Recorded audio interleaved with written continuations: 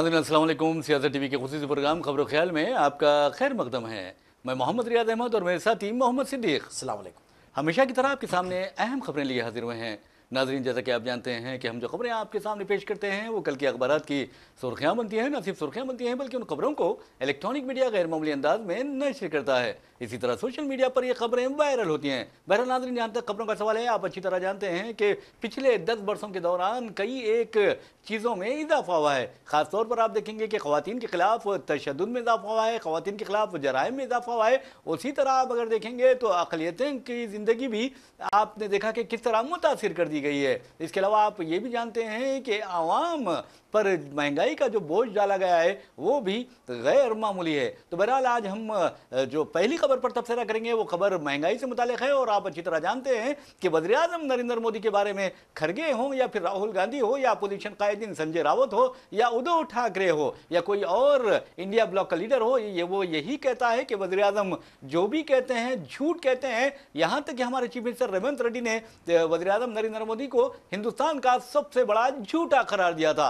और आप अच्छी तरह जानते हैं कि अब भी यही गूंज सुनाई दे रही है कि मोदी पर भरोसा नहीं किया जा सकता, मोदी नाकाबिले भरोसा है। लेकिन याद रखिए, हमारे वज़ीर आज़म है वजी अजम का एहतराम करना ज़रूरी है। चाहे वो किसी भी रियासत से ताल्लुक क्यों ना रखते हों, चाहे वो किसी भी रियासत से सौतेलापन का सलूक क्यों ना करते हों वज़ीर अजम का एहतराम करना चाहिए क्योंकि वो एक बावकार अहदे पर फायज हैं। लेकिन आपको बता दें कि अफसोस की बात है कि हिंदुस्तान में वजी अजम का एहतराम करने के बजाय उनकी तोहन की जा रही है, उन्हें जलील किया जा रहा है, उन्हें जलील खार किया जा रहा है और उनके खिलाफ अजीब गरीब रिमार्क्स किए जा रहे हैं, जो अच्छी बात नहीं है। मिसाल के तौर पर आज एक लतीफ़ा बहुत ज़्यादा हिंदुस्तान में गूंज रहा है और कहा जा रहा है कि कोई शोहर अपनी बीवी से वादा करता है कि मेरी जान, आपको हम इस मरतबा, इस साल आपको हम जेवरात लाएँगे और आपको इस तरह बहरहाल वो मुख्तलिफ़ वादे करता है अपने बीवी से और बीवी कहती है जवाब में कि आप बहुत कुछ बन गए हैं, लेकिन बरए मेहरबानी मोदी ना बनिए, क्योंकि मोदी जो वादे करते हैं, उसे पूरा नहीं करते। तो बहरहाल नाजरीन, आप देखेंगे कि किस तरह मोदी जी की छवि खराब हो गई है खातन में मोदी जी की छवि खराब हो गई है और हिंदुस्तान की आबादी में और ख़ासतौर पर अकलीतों में। और आप ये भी देखेंगे कि मोदी जी की जो छवि है, जो इमेज है, वो आलमी सतह पर भी मुतासर हुई है। लेकिन ये और बात है कि मोदी जी का ये दावा होता है कि उनकी मकबूलियत में इजाफा हुआ है। अब मकबूलियत में इजाफा हुआ है। जैसा कि हमने महँगाई की बात की है तो आपको बता दूँ कि मैं चैलेंज से कह सकता हूँ कि कोई गरीब आदमी प्याज खरीद कर नहीं खा सकता। टमाटर की कीमत आप देखेंगे या आलू की कीमत देखेंगे या मुख्तलिफ़ सब्जियों की अगर आप कीमतें देखेंगे तो आपको पता चलेगा कि अब ये इनकी कीमतें आम आदमी बिलखसूस गरीबों के दस्तरस से बाहर हो गई हैं। तो बहरहाल हम चलते हैं सिद्दीक साहब के पास और उनसे पूछते हैं कि महँगाई के लिए कौन जिम्मेदार है। बिल्कुल ये बीजेपी गवर्नमेंट जिम्मेदार रहा साहब। जी जी। एक साल से भी ज़्यादा के अरसे में रिटेल प्राइस इंडेक्स है सब में ज़्यादा है। एक साल पहले भी नहीं था इतना। इन्हें तकरीबन डबल हो गई है सारी इन्हें रोज़मर्रा की जो तरकारी हैं जी हाँ जी मछली है और और आपकी मुर्गी है तमाम चीज़ें आम आदमी की दस्तरस से बाहर हैं। आप छोटी से छोटी सब्ज़ी भी लेने जाते हैं तो उसका प्राइस डबल टिबल हो गया है। आपको अंदाज़ा होगा। जी हाँ। तो ये लोग इतने बिज़ी हैं अपनी झूठ में इलेक्शन कैंपेन में इनको आवाम की तकलीफ़ का एहसास नहीं है। नहीं। जाते हैं बकवास कर देते हैं कभी कास्ट सेंसस की बात करते हैं कभी जो है ना जात पात की बात कर देते हैं। अब देखिए महाराष्ट्र में जो तमाशा करके रखे हाँ, जी हाँ। हमारे प्राइम मिनिस्टर कहते हैं कि ये कास्ट कास्ट पर मबनी जो है ना इलेक्शन है। तो यानी कन्वर्जन एंटी कन्वर्जन लॉ के ऊपर ये इलेक्शन है। तो इसकी वजह से काफ़ी क्रिश्चियंस पे हलचल मच जाती है। वो लोग कहते हैं कि हम क्या करेंगे? एंटी कन्वर्जन है तो कैसा करेंगे?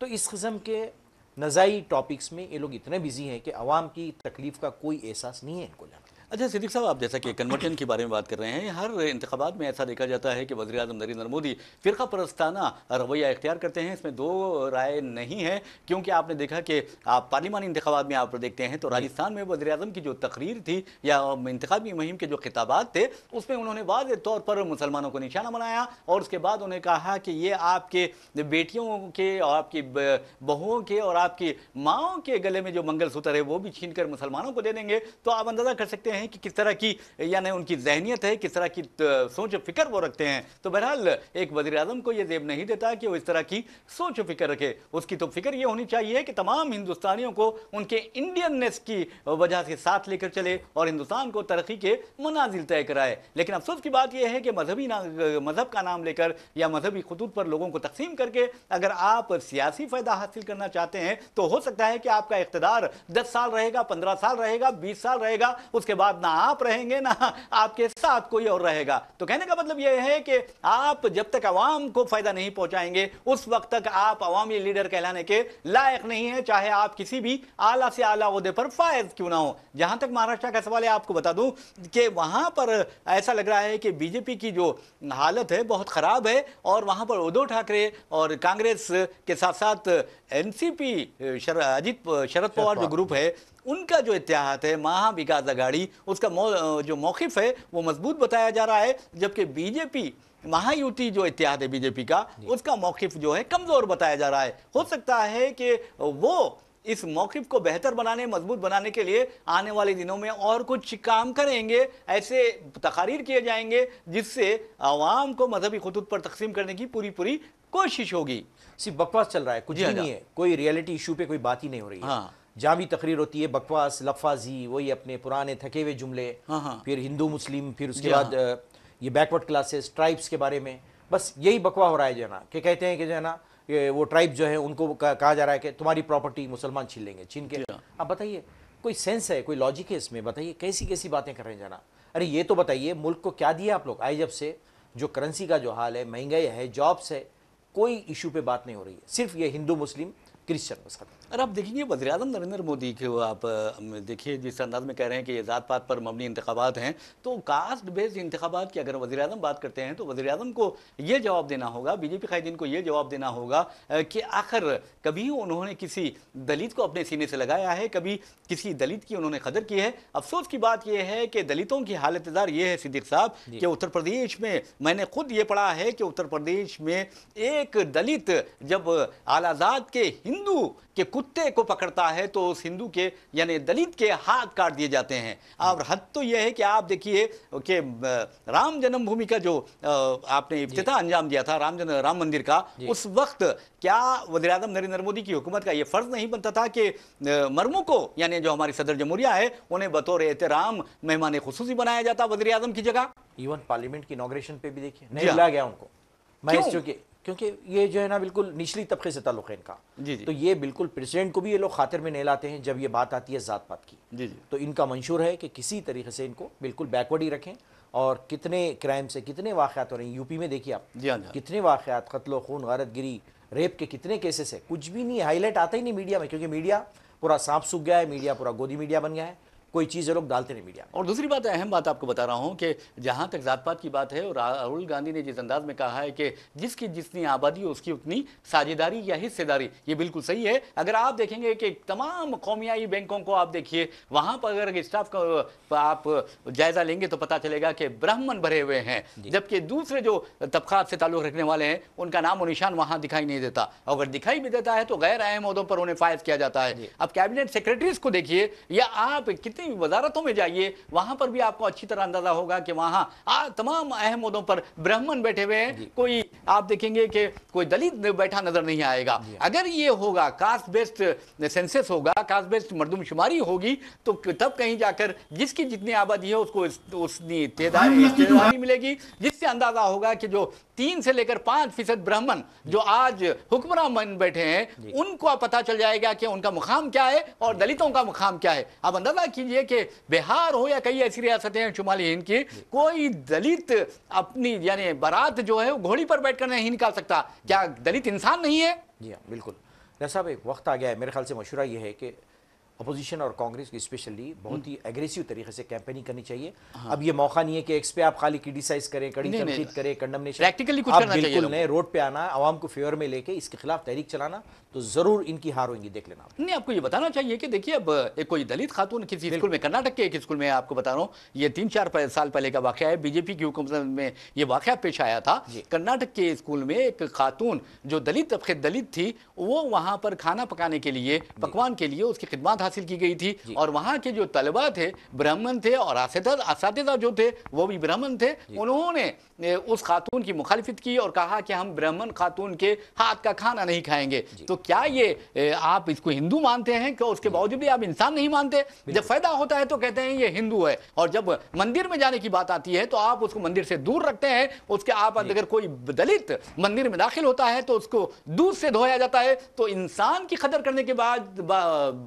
के की बजाय आप इंसान को जलील कर रहे हैं तो मैं समझता हूँ कि क्या वो फिर अपना मज़हब तब्दील नहीं करेंगे। बिल्कुल आप हाईलाइट कीजिए आवाम को लीजिए मोबिलाइज करिए रियासत। जी जी। तो खुद बहुत आवाम को पता चल जाएगा कि इनकी क्या कारस्तानियाँ हैं। इनको ज़रूर शिकस्त होगी इलेक्शन में। यानी अभी इस वक्त कांग्रेस अपोजिशन पार्टियों का काम है कि जरा और एग्रेसिव तरीके से कैंपेनिंग करें। और ये बताना चाहिए कि भाई आज दस्तूर खतरे में है आज सेकुलरिज्म खतरे में है आज जमहूरियत खतरे में है और आज तो ये है कि हर हिंदुस्तानी की ज़िंदगी खतरे में है। अब अंदाज़ा कीजिए कि वजी अजम नरेंद्र मोदी नारा लगाते हैं बेटी बचाओ बेटी पढ़ाओ लेकिन आप देखेंगे कि तीन साल बच्ची भी महफूज नहीं है। खुद राजस्थान जो बीजेपी की रिया की दैर इकतदार रियासत है वहाँ पर एक तीन साल लड़की को जो अपने माँ बाप के साथ मंदिर के बाहर सो रही थी वहाँ से अगवा किया जाता है और उसका रेप किया जाता है। तो ये है बच्चों के साथ। क्या ये बेटी बचाना है? यह सब कितनी सतही बात है। आप फिर कलर की बात शुरू करते हैं। लाल रंग। अरे लाल रंग ठीक है। मजहबी शिनाख्त के हिसाब से हिंदुओं का लाल रंग है। तो मोदी कहते हैं कि नहीं नहीं ये राहुल गांधी जो है ना फिर कम्युनिस्ट पार्टी का लाल रंग अडॉप्ट करें देखिए आप बताइए कितनी यानी घटिया किस्म की जहनीत है। उन्होंने कह रहे हैं कि दस्तूर की किताब का रंग लाल है। तो वो बता रहे हैं कि लाल रंग है। आप चेंज करना रेड बुक की बात बिल्कुल बिल्कुल रेड बुक ये कहते हैं कि नहीं नहीं इन्होंने जो है ना कम्युनिस्ट पार्टी की बात करें तो बताइए कैसा ट्विस्ट उलट फेर कर रहे बातों में जाना? जी जी जी। बहरहाल नाजरीन, आपको बता दूँ कि जहाँ तक मोदी हुकूमत का सवाल है, मोदी हुकूमत से आवाम को ये पूछना चाहिए और अपोजिशन कायदीन को ये पूछना चाहिए कि आखिर आपने दस वर्षों के दौरान महँगाई पर क्यों खाबू नहीं पाया? क्या आप अंदाज़ा कर सकते हैं कि जो दालों की कीमतें हैं, मोदी हुकूमत में दस वर्षों के दौरान एक दो गुना नहीं, बल्कि कई सौ गुना इजाफा हो गया है दालों की कीमतों में। और आम आदमी दाल खरीद कर नहीं खा सकता, ये मेरा चैलेंज है। इसी तरह अगर आप देखेंगे कि तरकारियों की या सब्जियों की जो कीमतें हैं, फ़ी किलो तरकारी, कोई भी तरकारी साठ रुपये से लेकर अस्सी रुपये फ़ी किलो नहीं है। आप अंदाज़ा कीजिए उनकी कीमतें आप सौ रुपए से भी बढ़ चुकी हैं। जी हाँ बिल्कुल जो है ना और ये बनिया तबके का काम है ये लोग काफ़ी नाराज़ हैं जीएसटी हाँ। के लिए। तो इनका कि ये लोग खुल के आए मैदान में। नहीं वहाँ पर आप देखिए कि इन्हें मज़हब की अफीम खिला दी गई है। जी, जी। वो नशे में धुत हैं और मजहबी जुनून में लेकिन इन बेवकूफों को ये नहीं पता है कि पाकिस्तान का क्या हाल हो गया है। वहाँ पर मजहबी जुनून पसंदी इस कदर उर्ज पर पहुँच गई थी कि आज पाकिस्तान किस कदर तबाही और वादी की राह पर गामजन है और हम भी उसी को फॉलो कर रहे हैं। जी हाँ ये लोग एजुकेटेड है माशाल्लाह तालीम याफ्ता इनको समझना चाहिए। कि किस किस्म की अफीन खिला रहे हैं लोग नशा किस तरीके से दे रहे हैं लोग अरे ये हमारा अजीम मुल्क है कोई मामूली मुल्क नहीं है इसकी खूबसूरती अगर आप देखेंगे आप अंदाज़ा कर सकते हैं कि इसका सर पर ताज जो है वो कश्मीर है। और जम्मू कश्मीर के बारे में आप देखेंगे कि वहाँ पर किस कदर हसीन मनाजिर कुदरत ने अता किए हैं और कुदरत ने किस तरह उस ज़मीन को हसीन बनाया है ये सिर्फ़ जम्मू कश्मीर नहीं बल्कि सारा हिंदुस्तान को अल्लाह तला ने बहुत मैं समझता हूँ कि यानी गैर मामूली खूबसूरती से नवाजा है। इस अजीम मुल्क में अगर आप लोगों को मज़हब की बुनियाद पर तकसीम करेंगे और सिर्फ़ फिरका परस्ती के ज़रिए हुकूमत का ख्वाब देखेंगे तो ये मुल्क को तबाह करने के सिवा और कुछ नहीं है। लेकिन अवाम को ये सवाल करना चाहिए अपोजिशन जमातों को ये सवाल करना चाहिए कि आखिर कब तक आप महँगाई में इजाफा करते रहेंगे? अब हाल अब हालिया अरसे के दौरान आपने देखा कि किस तरह इसराइल और फलस्तीन के दरमियान जो जंग जारी है और उस इसराइल की जो दरिंदगी का सिलसिला जारी है और दूसरी तरफ़ यूक्रेन और रूस की जंग जारी है और आप देखेंगे कि हालिया अरसे के दौरान अमरीकी जो इंतबात में ट्रंप की कामयाबी हुई है उसके बाद सनतकारों की दौलत में तो इजाफा हुआ है लेकिन अवाम जो गरीब हैं वो परेशान हो सकते हैं क्योंकि ग्लोबली जो राइट विंग पॉलिटिक्स है उसको फ़र्क मिल सकता है और महँगाई बढ़ सकती है। खुद आप देखेंगे कि आने वाले दिनों में तेल की कीमतों में ज़बरदस्त इजाफा होगा अगर ये दो जंगें खत्म नहीं होंगी। जी हाँ बड़े बड़े दावे तो किए जाते हैं हम चौबीस घंटे में खत्म करेंगे जो प्रैक्टिकली इम्पॉसिबल बिल्कुल नहीं है हो ही नहीं सकता। कैसा खत्म करेंगे आप? तो ये तो देखना चाहिए पब्लिक का क्या फ़ायदा करे? आप जो है ना खाली सनतकार है जो रिचेस्ट पर्सन है उनकी दौलत में इजाफा हो रहा है। जी हाँ जी हाँ। लेकिन जो आम आदमी है बेचारे वो तो पूरा सफ़र हो रहे पूरी दुनिया में सफ़र हो रहे हैं बिल्कुल आपने सही कहा है। और देखिए अमरीकी इंतबात के बाद अगर एलोन मस्क की दौलत का आप जायजा लेंगे तो पता चलेगा कि तीन सौ तेरह अशारिया सात एक अरब डॉलर उसकी दौलत हो गई है। बिल्कुल तो अंदाज़ा कीजिए इधर अडानी अंबानी जिनके बारे में कहा जाता है राहुल गांधी ने खुद कहा है कि हम दो हमारे दो। अब ये इशारा दिया था राहुल गांधी ने तो आपको कहने का मतलब ये है कि महँगाई अगर आवाम की कमर तोड़ती है तो इसके लिए कौन जिम्मेदार होते हैं? इसके लिए मरकजी हुकूमत जिम्मेदार होती है। तो इसके लिए अब बीजेपी मरकज में जर इकतदार है और उसे सजा देनी ज़रूरी है। क्योंकि आप देखेंगे कि बीजेपी की हुकूमत में हिंदुस्तान में जिस तरह के हालात पैदा किए गए हैं नाराज़ अनासिर के खिलाफ खुद खड़गे खड़गे ने कल कहा है कि मोदी हुकूमत और बीजेपी अरकान असम्बली को बकरों की तरह खरीदती है सिद्दीक साहब। जी ये माजी में हो चुका है खरीदो फरोख्त हुई है। हॉर्स ट्रेडिंग तो कॉमन बात है इनके लिए। जी जी। और ये पूरे सरमाएदारों की पार्टी है। इनके गरीब लोगों का कोई इनमें मुकाम नहीं है। खुद डोनाल्ड ट्रंप भी होता है तो वो भी बहुत बड़ा रिचेस्ट पर्सन है वो भी। जा, जा, हाँ। तो इनके अजायम और बढ़ गए यहाँ के रिचेज पर्सन है। जा, जा। तो अब यहाँ पे गरीबों के लिए कोई मुकाम नहीं है कोई जगह नहीं है। सिर्फ़ जो है ना इंडस्ट्रियलिस्ट ही यहाँ पे तरक्की करते जाए जी जी। बरह नाजरीन एक और खबर की जानब। हम आपको लिए चलते हैं। उस खबर का ताल्लुक तेलंगाना से है। तेलंगाना में आप देखेंगे कि वखाराबाद में फार्मासिटी कायम की जाने वाली है और उस सिलसिले में हसूल अराजियात का सिलसिला भी शुरू किया गया था और उसके बाद आप देखेंगे कि कल जिस अंदाज में वहाँ कलेक्टर पर एक हमला किया गया, फिर एडिशनल कलेक्टर पर हमला किया गया, फिर आप देखेंगे कि सब कलेक्टर भी हमले की जद में आई और इसकी तरह कोड़ंगल एरिया डेवलपमेंट अथॉरिटी के स्पेशल ऑफिसर भी हमला किया गया, वेंकट रेड्डी पर भी। वो जख्मी हुए हैं, शदीद जख्मी हुए हैं और ये भी कहा गया है कि डीएसपी भी जख्मी में, जख्मियों में शामिल है। तो बहरहाल, वहाँ पर आप देखेंगे कोड़ंगल आपको बता दूँ कि हमारे रियासती चीफ मिनिस्टर रेवंत रेड्डी का असम्बली हल्का है, जहाँ की नुमाइंदगी की रेवंत रेड्डी करते हैं। तो बहरहाल, वहाँ तरक्की की एक नई शुरुआत वो करना चाहते हैं, लेकिन ये कहा जा रहा है कि बीआरएस ने वहाँ के किसानों को उकसाया। यानी बीआरएस से ताल्लुक़ रखने वाले जो कारकुन थे या बीआरएस के जो कायदीन थे, उन्होंने कलेक्टर पर हमला किया और उसके बाद ये कहा जा रहा है कि पुलिस ने कल रात देर गए एक कार्रवाई की खसूसी कार्रवाई की। तीन सौ से जायद पुलिस अहलकारों ने उस कार्रवाई में हिस्सा लिया और घर घर तलाशी लेते हुए पचपन अफराद को गिरफ़्तार कर लिया। और ये भी कहा गया है कि इंटरनेट जो है वहाँ इंटरनेट सर्विसेज़ मअतल कर दी गई थी और बहुत ही मुनजम पैमाने पर ये एक कार्रवाई की गई। वैसे भी नाजरीन आपको बता दूँ कि ग्राम सभा जो हो रही थी वो लागा चेरला मौजे में मुनद हुई थी ग्राम सभा और वहाँ पर आप देखेंगे कि कलेक्टर प्रतीक जैन वो पहुँचे थे। साथ साथ एडिशनल कलेक्टर भी वहाँ पर पहुँचे थे लिंगाया नायक और उसके अलावा सब कलेक्टर उमेश लंकर प्रसाद भी वहाँ पर पहुँचे थे और उसके साथ कोड़ंगर एरिया डेवलपमेंट अथॉरिटी के स्पेशल ऑफिसर वेंकट रेड्डी भी वहाँ पर मौजूद थे। लेकिन कलेक्टर एडिशनल कलेक्टर तो वहाँ से बच निकलने में कामयाब हो गए लेकिन ये दूसरे दो अहदेदार थे वहाँ फंस गए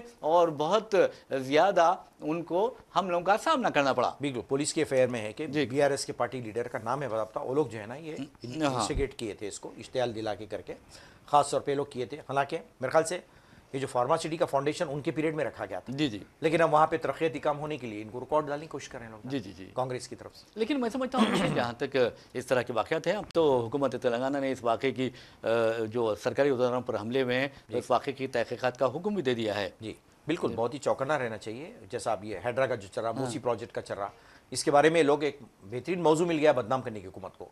तो बहुत ही एहतियात से केयरफुल तरीके से ये लेना चाहिए स्टेप जाना मेरे ख्याल से। बिल्कुल, आपने सही कहा बहर नाजिन जहाँ तक खबरों का सवाल है, आप अच्छी तरह जानते हैं कि अगर हम अपने फ़लस्तनी भाइयों की मदद नहीं करेंगे, कम अज़ कम अखलाक़ी मदद नहीं करेंगे, अपने दुआओं में उन्हें याद नहीं रखेंगे तो फिर समझिए कि हम इंसान हो ही नहीं सकते। तो बहरहाल, हम चलते हैं गज़ा, और वहाँ पर आप देखेंगे कि गज़ा को इसराइल ने अपनी दरिंदगी के ज़रिए, अपनी शैतानियत के ज़रिए, और अपनी हरदर्मी के ज़रिए, और अपने जुल्म जबर के ज़रिए खबरस्तान में तब्दील कर दिया है, और सात अक्टूबर दो हज़ार तेईस को इसराइल फ़लस्तीन फ़लस्तनी जंग का आगाज़ होता है और उसके बाद से अब तक तैंतालीस हज़ार छः सौ पैंसठ फ़लस्तियों ने जाम शहादत नोश किया है। एक लाख तीन हज़ार छिहत्तर फ़लस्तनी ज़ख्मी हुए हैं। और इसके अलावा ये भी कहा जाता है कि कम अज़ कम दस हज़ार से लेकर बारह हज़ार शहदा की लाशें अभी तक मलबे तले दबी हुई हैं। और आपको ये भी बताना ज़रूरी है कि तैंतालीस हज़ार छः सौ पैंसठ शहदा में एटी परसेंट खवतिन और बच्चे हैं। उनकी नस्ल खुशी का सिलसिला जारी है उनके कत्ले आम का सिलसिला जारी है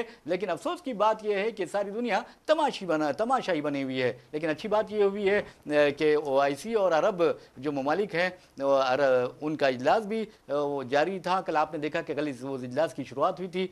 यानी इस्लामिक और अरब कंट्रीज़ के सरबराह इजलास में ये फैसला किया गया है। ख़ासतौर पर इसराइल पर ज़ोर दिया गया है कि ईरान के ताल्लुक से उसके जो इकतदार आला है उसका एहतराम किया जाए। बिल्कुल लेकिन मैं समझता हूँ कि प्रैक्टिकली सख्त इकदाम करने चाहिए इसराइल के खिलाफ? जी अब रेजोल्यूशन पास करने से कुछ होगा नहीं जी जी। सीधा सीधा फोर्स बनाइए मदद के लिए जाइए उनकी। हाँ, खाली कंडमनेशन से क्या होगा पास करने से होगा क्या? क्या सुन रहा उन्हें? यूएनओ की नहीं सुन रहा तो इनकी क्या सुनेगा? बिल्कुल आपने सही कहा है। बहरहाल पिछले 48 घंटों में 62 फलस्तीनी शहीद हुए हैं सिद्दीक साहब कोई मामूली बात नहीं है। और 147 एक सौ सैंतालीस जख्मी हुए हैं। वैसे भी नाजरीन आपको बता दूँ कि जहाँ तक लेबनान का सवाल है लेबनान में आपको बता दूँ कि लेबनान में इसराइल के हमलों में तीन हज़ार दो सौ तैंतालीस लेबनानी शहरी अब तक जाम शहादत नोश कर चुके हैं। चौदह जख्मी हुए हैं। और आपने देखा कि नेतन्याहू ने किस तरह कबूल किया, इंकशाफ किया कि मेरे हुक्म पर पेजर हमले किए गए हैं। तो इसका मतलब ये है कि नेतन्याहू वजी आलम होने के साथ साथ दहशत गर्द भी है। और उसके खिलाफ तो दहशत गर्दी और इंसानियत के खिलाफ